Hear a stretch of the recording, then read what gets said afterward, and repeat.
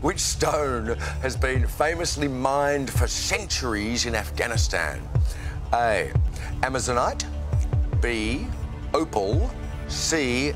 Lapis lazuli. You said C.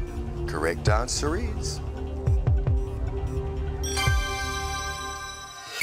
And Destroyer says.